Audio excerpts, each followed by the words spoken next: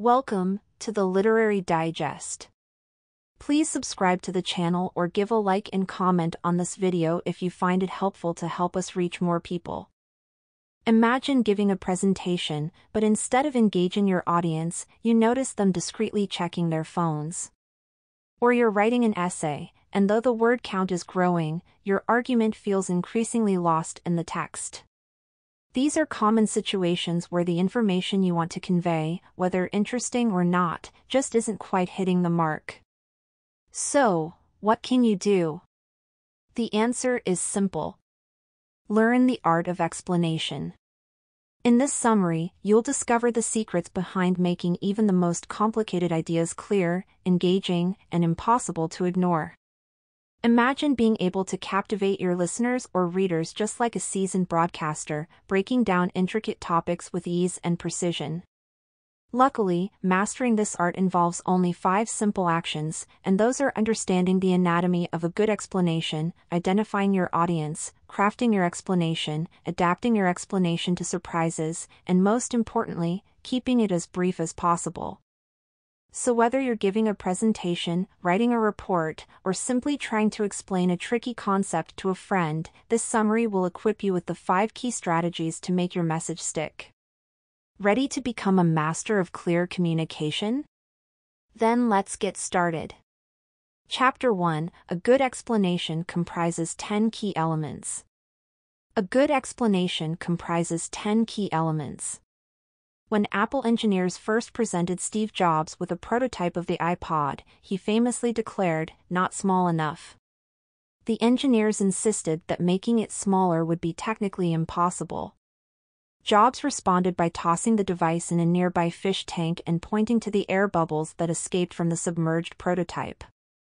If there's room for air, he said, then it can be made smaller. The engineers took the hint, and the iPod was ultimately slimmed down. So how can you deliver explanations that are as succinct and impactful as Jobs? The secret lies in understanding the anatomy of a good explanation, which includes 10 key components.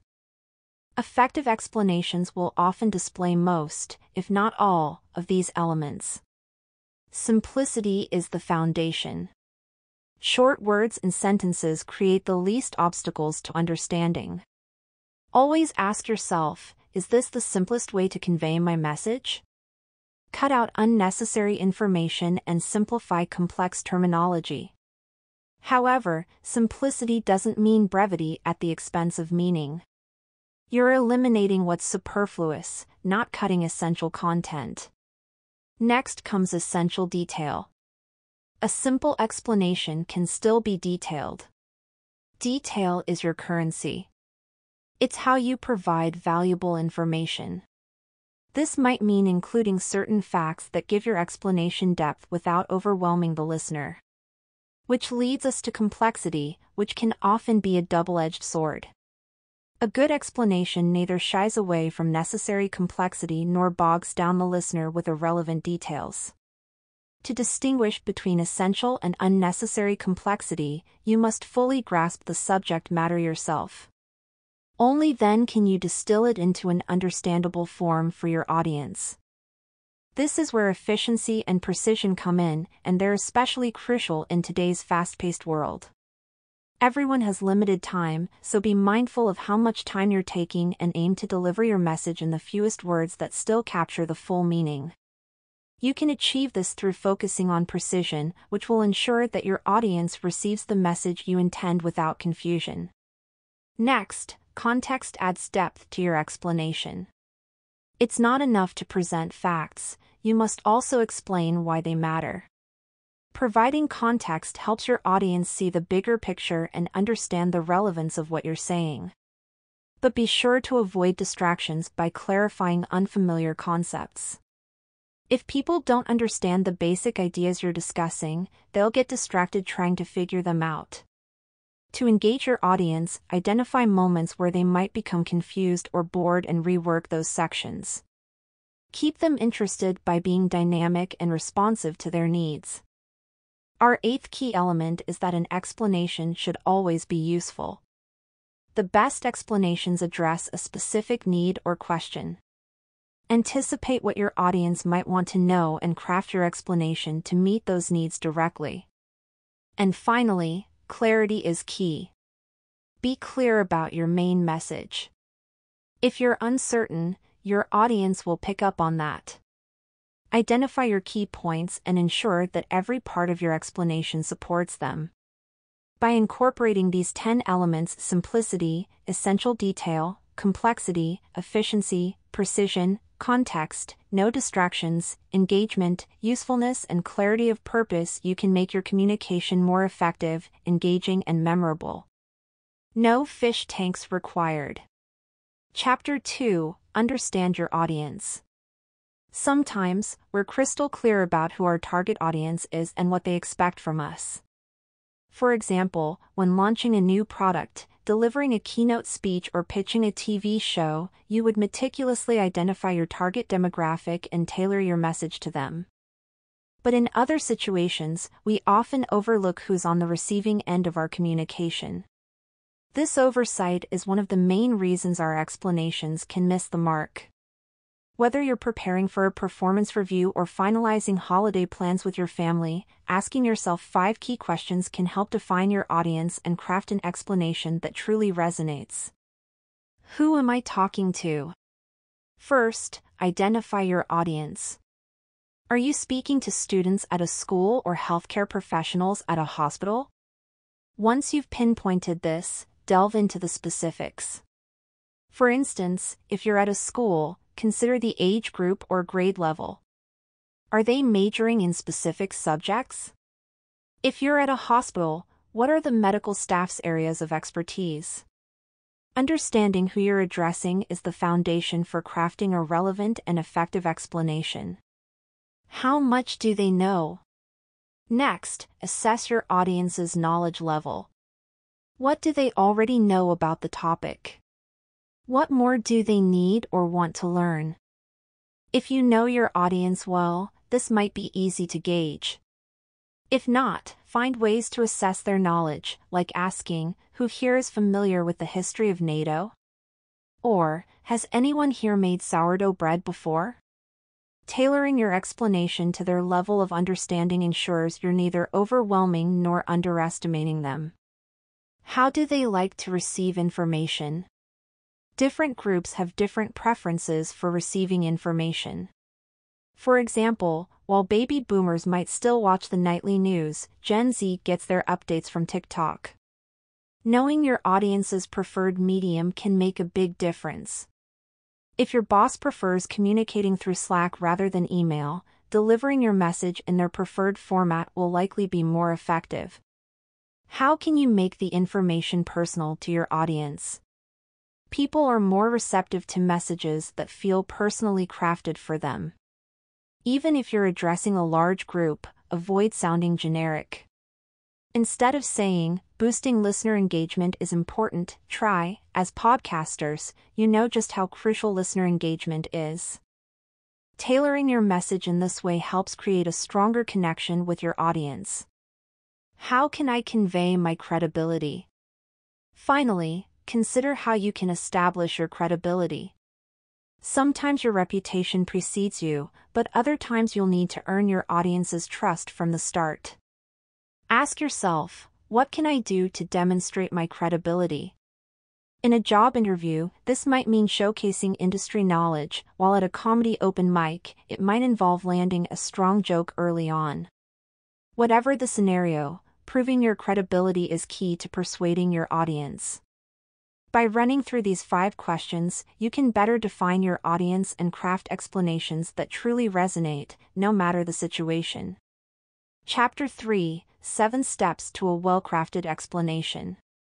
7 Steps to a Well Crafted Explanation Crafting a great explanation is an art, whether you're preparing for a presentation, an appointment, or a meeting. The good news is that with some planning, you can consistently deliver powerful and persuasive explanations. Here are seven steps to guide you through the process. Step 1. Set up. Start by clarifying what you want to explain. Ideally, you should be able to sum up your key point in a single sentence. Next, consider your audience. Are they experts or do they have a basic understanding of the topic? Simply checking in with yourself about the purpose and audience of your explanation sets you up for success. Step 2. Gather information. Whether you're well versed in the topic or exploring it for the first time, you need to gather the facts that will underpin your explanation. Start with primary sources like hard data, test results, or statistics. For example, the BBC World Service follows a two-source rule to ensure reliability by verifying information with at least two reputable sources. Consider including different perspectives to add depth or present alternative viewpoints. Step 3. Distill information. Once you have your data, it's time to distill it down. Ask yourself, is this relevant? Does it support my main point? You want to keep only the most pertinent information. For example, if you're explaining a complex process, cut out the extraneous details that might confuse your audience. The goal here is clarity and focus. Step 4. Organize information. Now that you have the essential information, it's time to organize it. Sort it into strands with each strand representing a key aspect of your explanation you might have two or ten strands, depending on the complexity of your topic. Don't forget to create a strand for high-impact information that will grab attention and another for leftover details that don't quite fit. Play around with the order of your strands until you find a flow that tells your story effectively. Step 5. Link your information. This is where you start writing. Use linking techniques to guide your audience through your explanation. For instance, try trailing one section into the next. If you're wondering how we achieved that uplift, I'll explain next. Surface the structure of your explanation by signposting key points. So far, we've discussed X and Y. Now let's move on to Z. These techniques help maintain your audience's attention and make your explanation easier to follow. Step 6. Tighten. With your draft written, it's time to polish. Read your explanation aloud as you edit. This helps you catch awkward phrasing and refine your points for maximum impact. Be ruthless. Cut any unnecessary words or redundant information. Step 7. Focus on delivery. Finally, think about how you'll present your information. What visuals will you use? Bullet points, graphs or diagrams can enhance understanding. Mark any pauses or moments you want to emphasize in your script. Rehearse your delivery and time yourself to ensure you stay within your allotted time. By following these seven steps, you'll be well on your way to crafting explanations that are clear, compelling, and memorable. Chapter 4 Adapt your explanation for unpredictable settings. Adapt your explanation for unpredictable settings. Delivering a great explanation in a dynamic situation such as a job interview, performance review, or spontaneous meeting can be challenging. Unlike controlled scenarios where you have time to prepare, these situations demand that you think on your feet while maintaining precision, clarity, and succinctness. So, how can you craft a compelling explanation on the fly? Interestingly, the same seven steps that work for a pre prepared explanation apply here too, just with a few key adjustments. Even when you know you'll be thrown into a dynamic scenario, the first three steps remain the same. Start by clarifying what you'll need to explain and to whom. Next, gather your information from reliable sources. And finally, distill this information down to the essentials. This groundwork will give you a solid foundation to draw from when you're put on the spot. Once you've gathered your information, it's time to organize it into strands, just like you would in a controlled scenario. But here's the twist. In dynamic situations, you need to keep your information memorable. Limit yourself to five pieces of information per strand.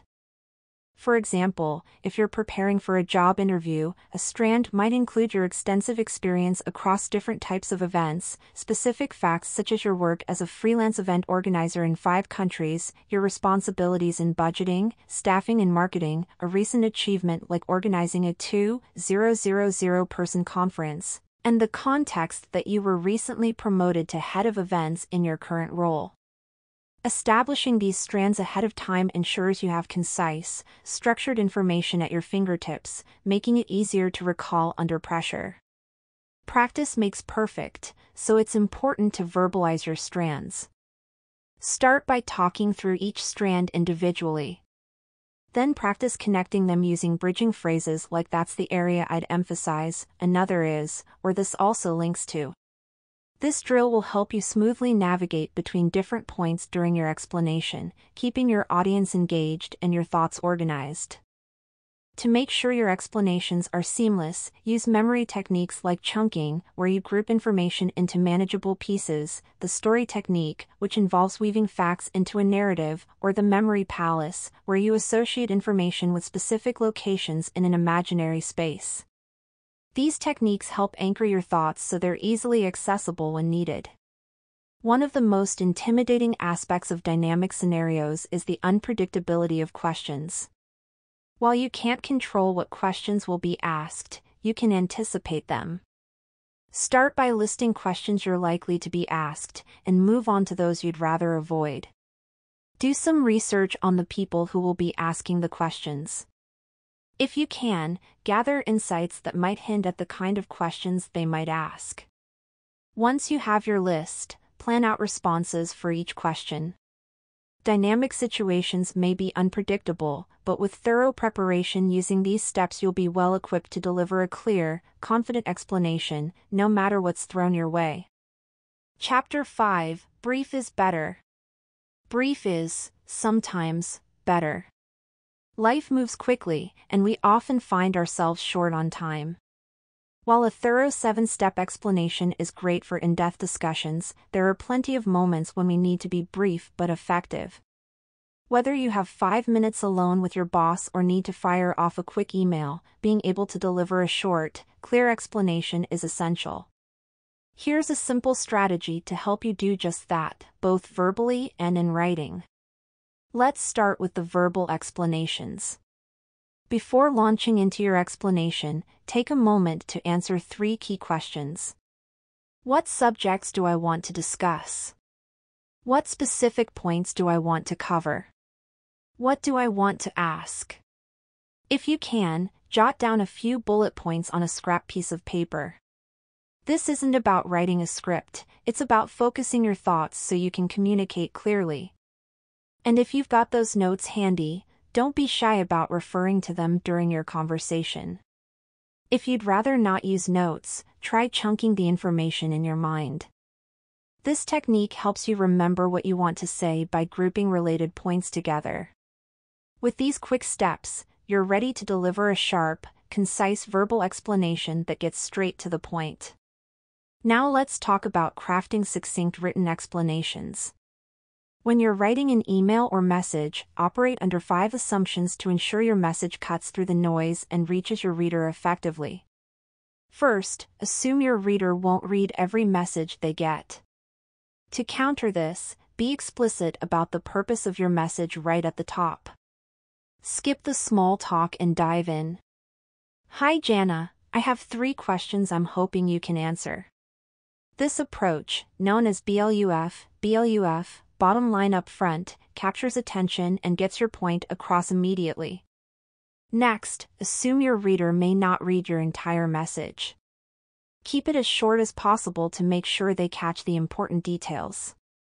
Third, assume your reader might skim the message. To make sure key information isn't overlooked, format it in a way that stands out. Use short paragraphs, bullet points, numbered lists, and subheadings whenever possible.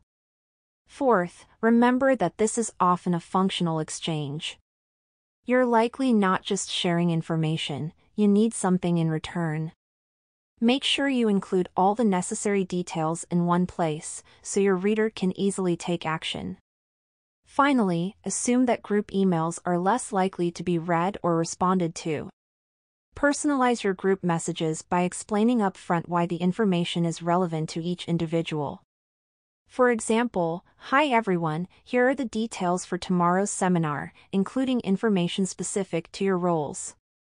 By working with these assumptions, you can craft snappy, effective explanations that ensure your message is read, understood, and acted upon.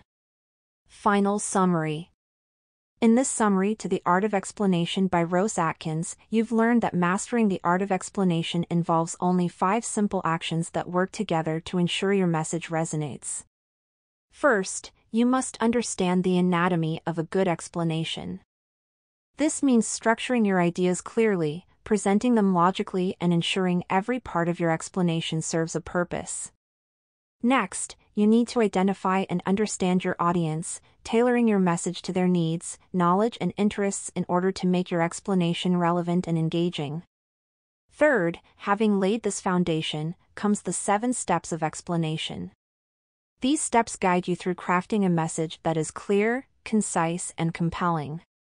However, explanations aren't always delivered in predictable settings, so fourth, it's crucial to adapt your explanation to fluid scenarios. Being flexible and ready to adjust your message on the fly can sometimes make all the difference. Finally, you'll want to speed up your delivery. Learning to communicate complex ideas quickly and effectively allows you to make your explanations easily digestible, even in moments. By mastering these components, you'll be able to explain your ideas in a way that truly connects, whether you're in a boardroom, classroom, or any other setting.